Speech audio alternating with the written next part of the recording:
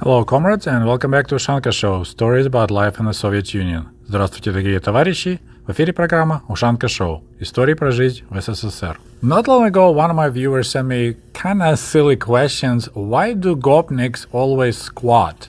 What is the reason uh, for squatting? And I thought I laughed, and then I thought about it. It's actually, you know, it's a good topic to discuss. Why do gopniks squat, and actually why generally Russians and Soviet people, uh, for that matter, like to squat. But before we begin, let's have a quick lesson of the Russian language. Урок русского языка. When we say in Russian that someone is sitting like a squatting, he's uh, сидит в присядку or на корточках. В присядку, на корточках. Well, first of all, let's begin about uh, gopniks and their squatting style when they hanging out outside with their buddies. And that's a separate topic to discuss why there's so much just crazy interest in a gopnik subculture, but I'm planning to make a separate video about it. So why do gopniks squat? And the answer is very simple. Потому что в ногах правды нет.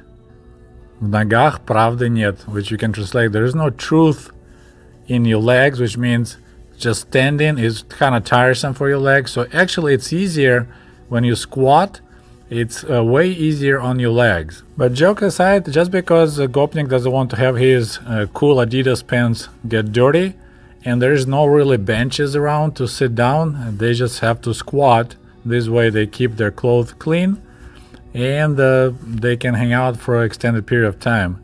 Now, other people, and including uh, Gopniki, if they hang out somewhere in the park where there are benches, they'll just sit on the bench and, and drink their beer or vodka and uh, have a good time. So squatting, it's absolutely not a part of this Gopnik subculture. There's no rules about proper way you squat. I found it just hilarious when the people, you know, when I published a couple of my pictures of squatting for fun, they were correcting me that I'm not doing proper squatting. I never heard of it. I never knew there is some kind of rules. And uh, I'm going to talk about all that stuff in my separate video.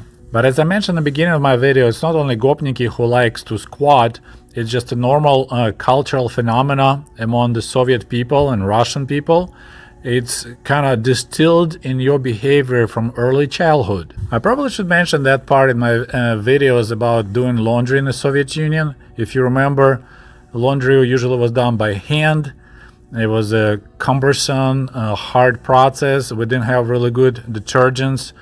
So uh, women had a hard time doing laundry. It was a lot of work. So, of course, you reflect that on your children to make sure that they don't bring dirty clothes home often. So, from the early childhood, every Soviet kid learned one thing that grass stains are the worst to remove. So, if you come home and your knees will be covered with green marks from skidding on the grass or kneeling on the grass, or your butt from sitting on the grass, your mom would yell at you or she can actually spank your butt.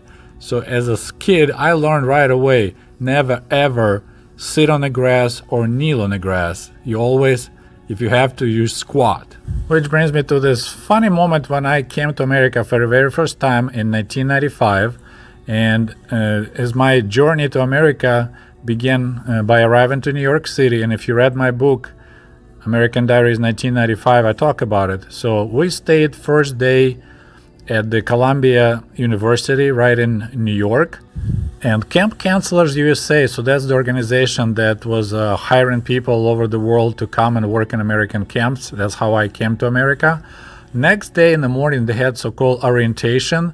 So everyone who arrived a day pri- prior uh, they told us to go outside and we're gonna have you know conversation and some silly games, uh, and we talk about your you know future work at the American camps. We explain you some cultural. So around 20 to 30 young people from all over the world, you know, you're talking Australia, Great Britain, Germany, so Western Europe, and then of course uh, some folk from the former Soviet Union. And once again, we're talking 1995 when. Uh, so it's uh, four years after Soviet Union went bye bye and it was amazing. I could easily tell where the foreigners are and when my uh, former countrymen were. Not even like looking at their clothing or you know just looks of them, you know, hair color, facial, just the way they behaved on the grass. Every foreigner plumped on the grass. You know, they sit this crossing their legs. They call it Indian style sometimes. Not a single person from the former Soviet Union did that. We all were or squatting or just standing because from the early childhood we learned never ever sit down on the grass or kneel on the grass. I found it actually quite interesting. I was like, wow, look at this. Those guys are from, from the Soviet Union just like me because I never sat on the grass either.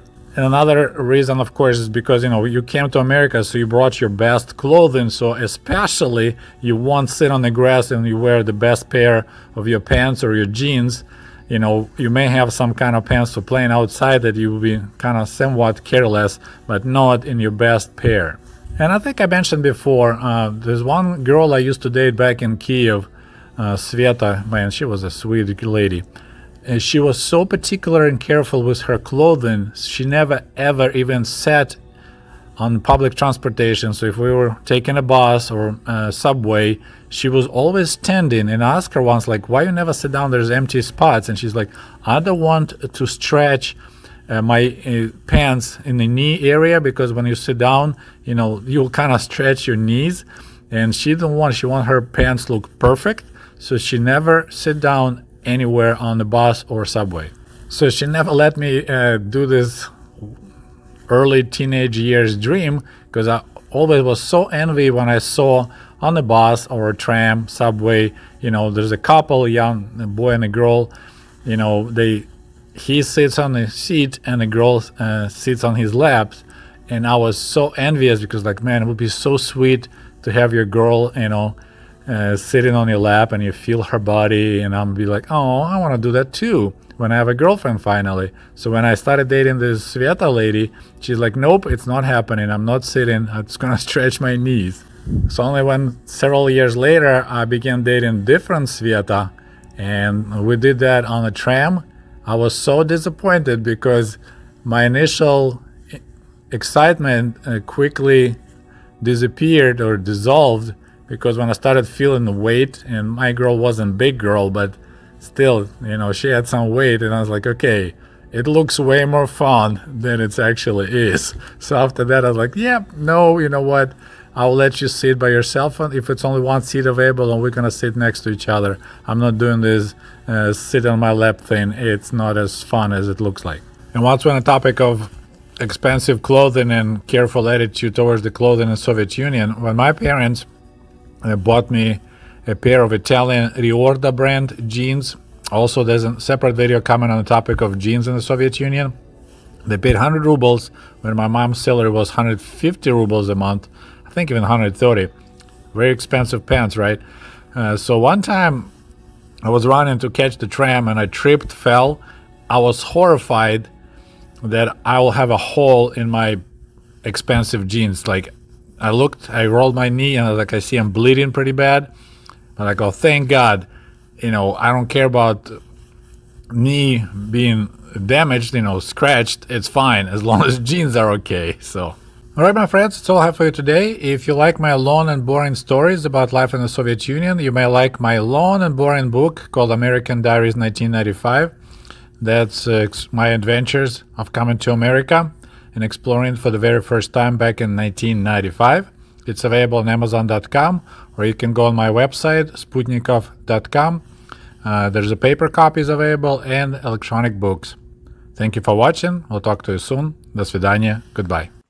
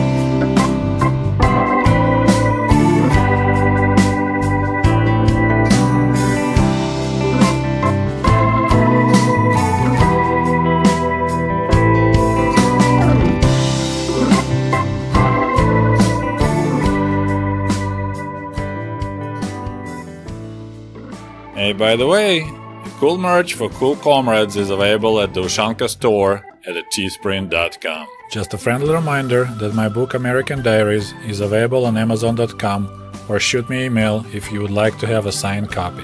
Thank you. And if you love my channel and would like to show your support, please click on the link below this video and become the patron of the Ushanka Show. For as little as $1, you can help us grow and create the new interesting videos about the life and